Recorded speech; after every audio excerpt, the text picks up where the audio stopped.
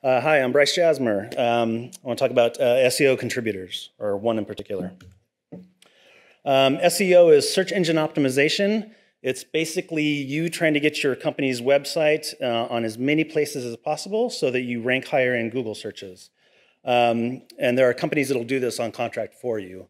Um, it's not necessarily a bad thing for SEOs to exist, but uh, when they don't follow best practices, it's not such a good thing, and especially when they don't respond to any feedback. Uh, about a year ago, I was looking at the new Mappers channel in Slack, and I wanted to clean up everything that was in my state. So whenever I saw a new mapper come on board, I would take a look at their changes. And I noticed a pattern of uh, usernames that were pretty much equal to the, the single business name that they created. So they would throw a POI on there and it'd be the same name as their username. Um, and these had a lot of errors, and there was uh, uh, some that were they were very similar in how their errors were done. Um, some things like street abbreviations were bad, like they would do street or road and, as RD and ST. Uh, opening hours would be kind of free format, uh, uppercase key names, and they wouldn't have uh, you know like shop equals insurance, uh, what I call a feature key. Um, and so, and there's a bunch of other stuff. I'll get to that later. And why are you up back? Um, so I wanted to find the source of these so I could stop doing hand edits and try to get them to correct it at the source um, so I could uh, reduce the, the amount of work that I had. So I started calling up this POI uh, phone numbers that were listed. And uh, it's kind of hard to get information out of them. They're like, who are you and why are you calling me? It's like, well, I'm kind of with OSM. I don't work for OSM. Um, it was also hard to find the right person to talk to. You know, when you call a, a, a car repair shop, they're like, uh, I don't know, I fix cars. So I kind of kind of came up with this term internet marketing person, and that that got me to the right person once in a while. But it was also difficult to get them to uh, like understand who I was and why I wanted this, and they didn't want to share it with me. But uh, I kept on trying, and I eventually found some. And pretty soon, uh, this name kept on bubbling to the top: E Gumball. Uh, I don't know if any of you have heard of them. Um, so I would do change set comments to, to all of these that I found and saying, hey, you know, I want to get a hold of you. Can we please talk? Um, I started calling them, and I, I, eventually kind of worked through their phone system. I, I, pretended I was a customer, and then I kind of said, Can I talk to a manager? Can I talk to their manager? Um, and I found a lady who had actually listened to me. And uh, I, I, talked for about 15 minutes and told her all the stuff that was wrong with what they were doing and how I wanted to improve them and make them a better citizen. Um, and she's like, okay, send me an email. So I, I, wrote up the entire conversation and sent them an email. Never heard back. A week later, I followed up. Followed up again, nothing.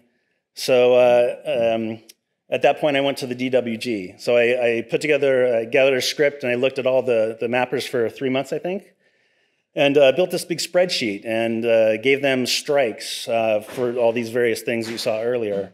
Uh, and uh, many of the bad ones kind of bubbled up to the top, and you could tell they were all kind of the same, the same group, the same company, eGumball. Uh, the goal was to get them, to, uh, DWG, to shut them down by either maybe they were coming from the same IP block or uh, maybe they use the same registered uh, email address, which we as uh, regular people can't see. Um, but then uh, DWG got back to me and said, no, that's kind of not the way it is. they're, they're coming from many different IPs, they have many different email addresses. So, okay, I, plan B at that point. Um, I thought maybe if I delete all of their point of uh, the POIs, maybe that would get their attention because they're not going to want to spend money on a contractor to add all of this information to get indexed if I delete it before they can even get it indexed. So I converted my analysis script into a, a, a review and deletion tool, and uh, that's what I call the big hammer. Um, so every day I would run through this uh, when I'd wake up in the morning, and uh, I would I would I would process the day's uh, new mappers, and I would see uh, what their score was, and I'd have all these little uh, three-letter codes that would kind of help me know, oh, uh, they came in uh, strange hours. They came in the middle of the night, and that was kind of indicative of being in India. So I would look at uh, uh, some of the different attributes, and I'd say, yeah, that looks bad, and I would I would say yes, go ahead and delete it, and it would delete it if it's nobody else had changed it. and at the same point, I, I, I kept on trying to get in hold of them, and I uh, using my LinkedIn connections, I figured I either knew somebody there or knew somebody who knew somebody there. Um, and I eventually got a name, and I talked to the person I know who knew him. And uh, I reached out to that person and couldn't get a hold of them, tried to pass messages through uh, the one person I had managed to talk to at uh, eGumball. When I eventually mentioned the big hammer, saying, you know, well, I'm deleting your information, that kind of got things rolling. And uh, they put me in touch with a, an IT dev manager there, and we actually had a great conversation. I was I was uh, surprised to say the least. Uh, he had heard of uh, OSM and he was willing to help, and I was very happy to hear that. Um, but there was a problem. Uh, he sent me back some emails saying they did some checking and they couldn't find them using uh, OpenStreetMaps anywhere. It's like, oh, great. Okay, so maybe I've got the wrong person. Maybe maybe my calls uh, yielded the wrong information. So I started calling more POIs to gather some more data for him. Made over 50 calls. Uh, once again, hard to get to the right person, hard to get them to, to confide in me who they're using. Uh, but I finally got enough uh, samples to say, yeah, it, it was the eGumball. And I went back to the guy and I, uh, I said, you know, here are the companies that are the problem. Uh, and he went to uh, some other resources inside the company at that point, And he also did find that they had an offshore contractor in India, surprise, that uh, was doing this stuff kind of on their own. And so I, I, worked with them and put together a list of things that I'd like to see them do. And they were receptive and started doing some training of their uh, uh Indian uh, counterparts.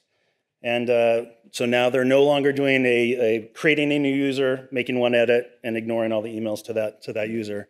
So they're they're doing it under a single user. We've actually blocked them three times because they're still having problems. But uh, uh, we're, we're making improvements and we're, and we're moving forward. So thank you.